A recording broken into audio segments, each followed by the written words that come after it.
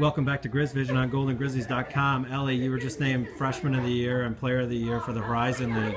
Talk about the great season you've had and what that means to you. Um, it's been a lot of fun. It was definitely very humbled to be receiving both of those awards this evening. Um, it's been a lot of fun with my teammates by my side and our new coach Alyssa Gaudio here, and it's been a competitive season all around. And I'm very excited for this tournament coming up tomorrow. Speaking of the tournament, you guys are hitting on all cylinders. You're one of the favorites.